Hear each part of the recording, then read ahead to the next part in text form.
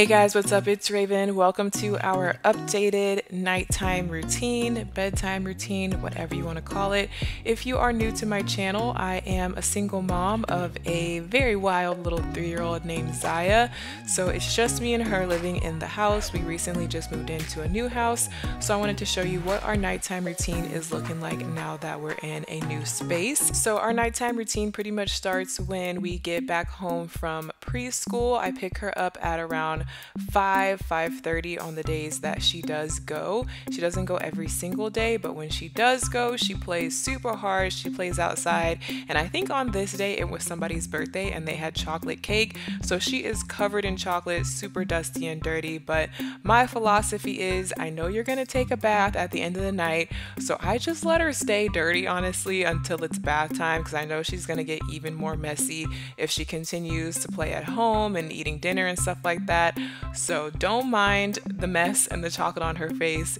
We definitely will be taking care of that later on in the night. But the first thing that Ziya always asks for when she walks in the door from preschool is a snack, and she is obsessed with fruit snacks. So on the days when she's being good, I do let her have a fruit snack for snack, and then typically I'll grab something for myself as well, just because I'm gonna be making dinner a little bit later, and usually I'm kind of hungry around this time. Now, confession, I definitely got kind of distracted when I was filming this video and totally forgot forgot to at least make Ziya wash her hands before having snack at home. So just so you know, I'm not a perfect mom. It happens, but normally she can be messy from school, but normally I would at least have her wash up a little bit before eating, but I totally forgot. Also, if you guys notice the time on my oven, it says that it's like 7 p.m. That's not true. We get home from preschool at about no later than 6, definitely. So it's around 6 o'clock when we usually have this little snack, and this is a good time for me to talk to Ziya about her day, what did she do at school, and just kind of have a little bonding moment. Um, I play with Emily Koglis, but I play with Beckham. You do? Mm-hmm. What did y'all do? Um, me and Beckham was making a cake. But Beckham left, but we play with dinosaurs. You're playing with the dinosaurs? Beckham. And then after our little snack time, Ziya loves to run upstairs to her playroom where she has all her toys. And she can just play up there for hours and hours if I let her. She has tons of stuff, way too many toys, honestly. She loves to play pretend and act like she's owning a restaurant. She's a waitress. She's serving me food, cooking for me. She has all her Peppa Pig stuff, her baby dolls, and her Barbies. So she just loves to play up there. I try to spend some time with her and play with her, like I said, just to have that bonding time. But after a while, I do go downstairs to get dinner started.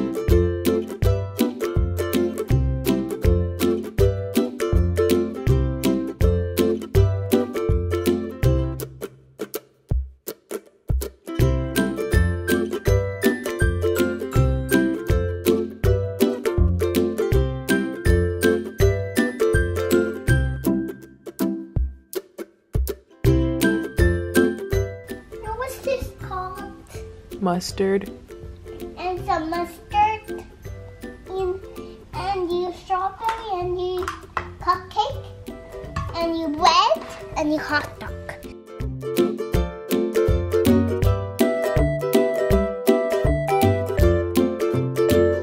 So I just leave her up there to entertain herself and play with her toys. If I ever do need to check on her, I do have a camera up there that I can see on my phone. So that's super handy with the um, Nest cameras.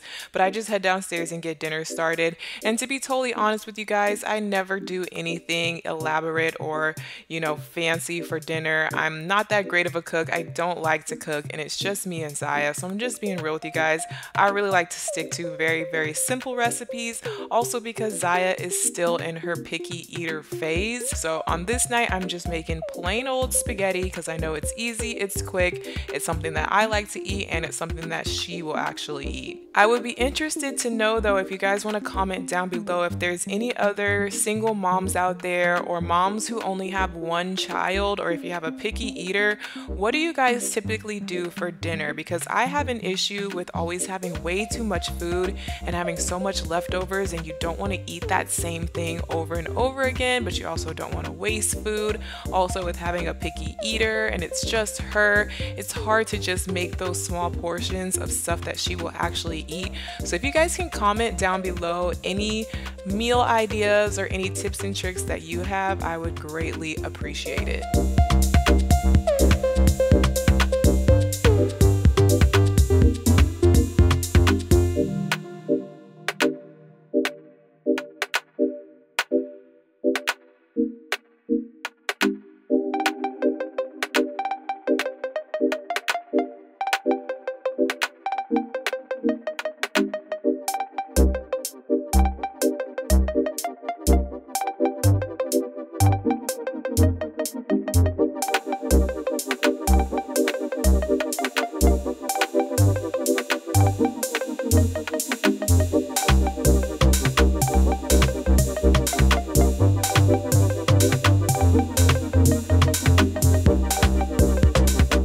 Now that dinner is ready, I just called Ziya down to come and eat, and we typically just eat at the bar. I do have the actual table, dining table over on the other side of the kitchen, but those chairs have white fabric, even though they are stain resistant. I just still don't want to mess them up. So I like to just sit at the bar with her. I can sit next to her. And I actually like the fact that my bar is facing away from the TV. So it's not really a time to just sit and turn the TV on because we can't even really see it.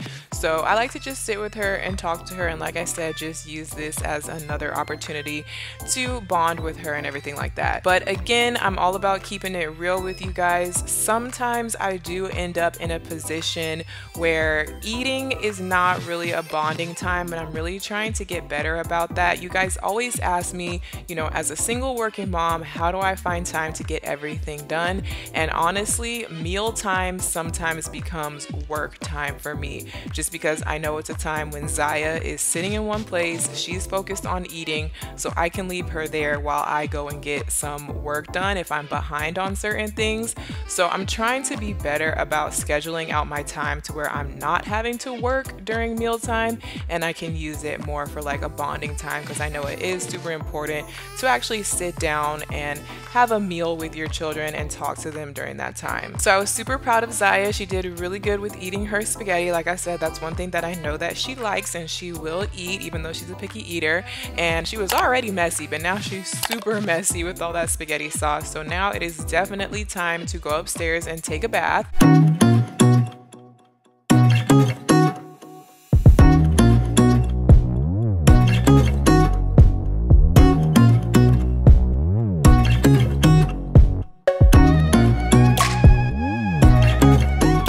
Just a little tip for you moms out there. Sometimes small kids don't like to take a bath. They either just don't want to stop what they're doing to take a bath, or for some reason, they just don't like to take a bath. So, if you have an issue with that, I highly recommend getting some fun little bath things like bath bombs, bath paint, bath crayons. These things are all washable, they're not going to stain your tub or anything like that. They're really easy to clean up.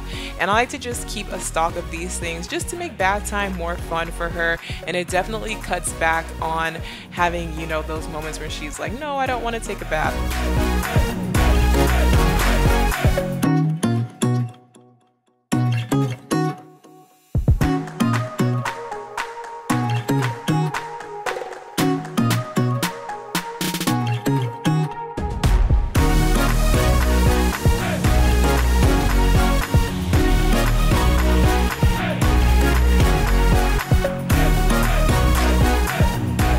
And something that I've always tried to work on with Ziya ever since she was a little baby is independence. Because I am a single mom and she is an only child, it's really important for her to be independent. So, something that I always do throughout the day, whether it be eating, bath time, cleaning up, I always try to encourage her to try and do things for herself. Even if she's not very good at it yet, even if she's not fully able to complete the task, of course, I will still help her and I will still go back do it properly, but I always, always try to let her do things herself, such as washing up in the bath, cleaning up her toys, you know, anything like that. Let them do it. Take the time to just sit there and let them try to do it, and then you can go back and, you know, finish the job.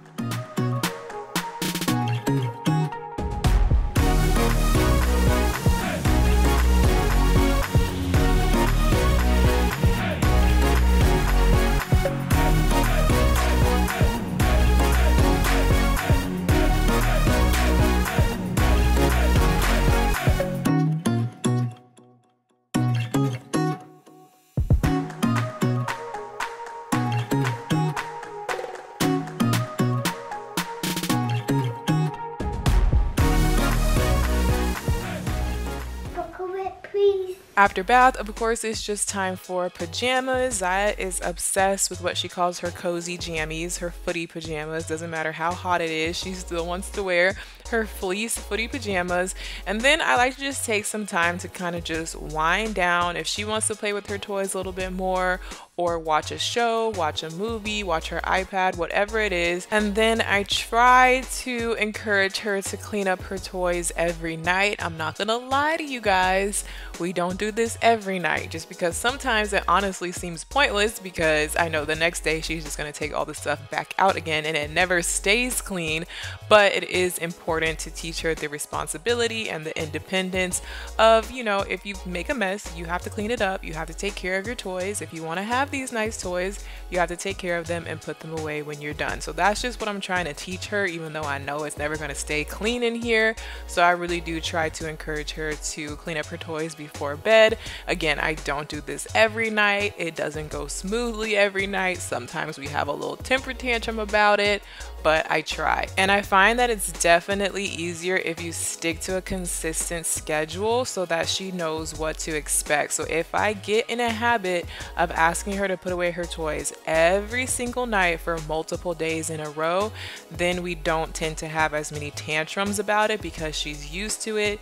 She knows it's coming. She already is preparing herself for it. So it's like nothing to complain about. But if I kind of like get lazy or I forget and I haven't made her do it, it in a while, that's when it becomes a problem. So it's all about staying consistent and staying on a schedule. Done.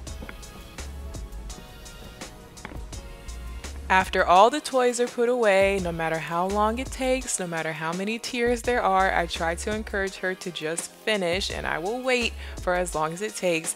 Then it's time for bed and the last thing that we do before bed, again, I try to do this every single night. I'm not gonna lie to you and act like I'm a perfect mom and I do all of this every single night.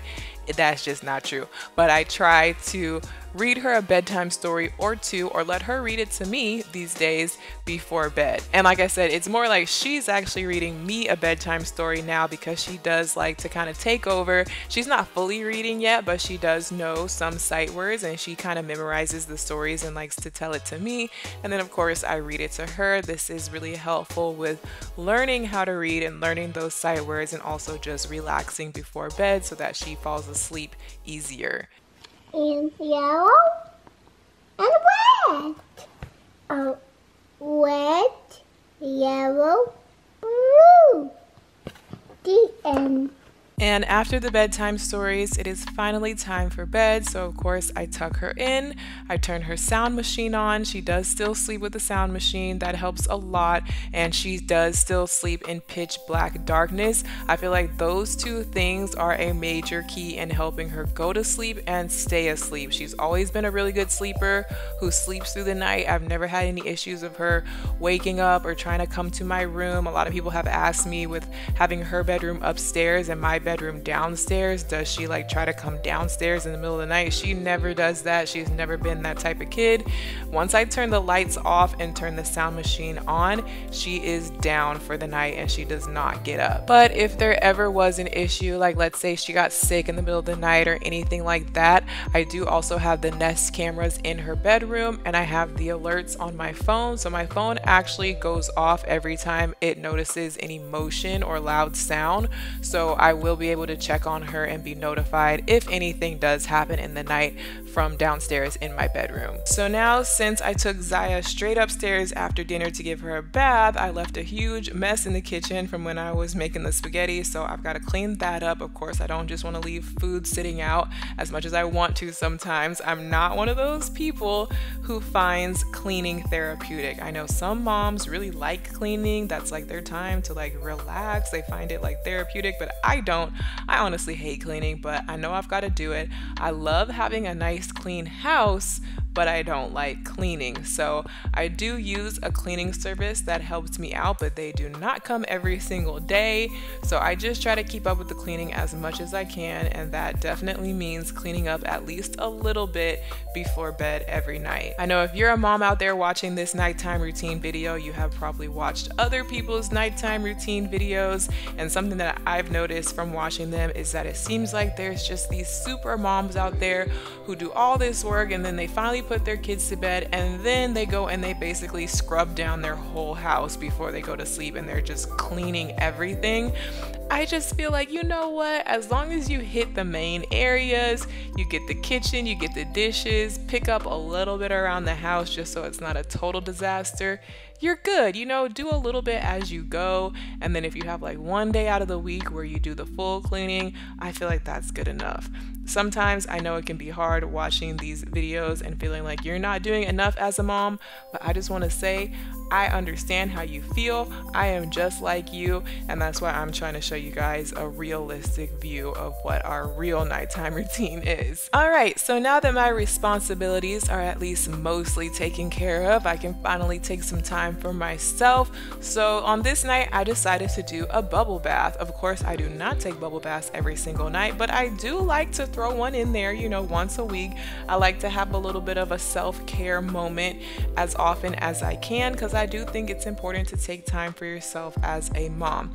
So I'm doing a bubble bath with, you know, a bath bomb and everything. And I was super excited because I had just realized that I can actually see my TV in my room from my bathtub. So I turned on Netflix, I was watching my show, I just soaked in the bath for a while. It was really nice. After I got out of the bathtub, I just went ahead and did my skincare routine. Of course, I got to do my nighttime skincare. This is another thing that I try, like, I'm trying to be better about really taking the time to do my full, thorough skincare routine every single night before bed because when you're just tired and exhausted, sometimes you just want to take a quick shower, dry off, throw something on, and just go to bed. Like, you don't feel like standing at your sink and doing this multi step skincare routine but I know it's important and I'm trying to take care of my skin. So I try to just take that time, and it is a form of self care as well, so it's important. After that, when I'm finally ready for bed, of course, I just throw on my PJs, get in the bed, and I scroll on my phone for probably at least an hour if I'm honest, because I do social media for a living. Let's be honest, I'm obsessed with scrolling on Instagram and Twitter, and my new obsession is TikTok. So I can scroll on TikTok at night for like over an hour easily. Or I might just watch Netflix or watch YouTube videos on my TV, whatever it may be. I kind of just take that time, my little screen time, and then finally I go to bed. So, yeah, guys, that is what our nighttime routine is looking like right now. Give this video a thumbs up if you enjoyed it, subscribe if you haven't already, and I will see you guys in my next one. Bye.